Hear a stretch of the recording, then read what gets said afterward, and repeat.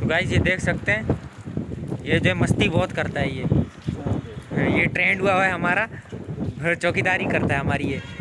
जब भी कोई दूसरा आएगा ना ऊपर हमारे पास तो ये फिर बताएगा चौकीदारी कैसे करते हैं।